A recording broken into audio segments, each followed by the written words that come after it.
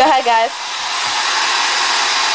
I've currently peed myself in the bathroom, and now Tim is drying it off with a blow dryer so I can go to the bar.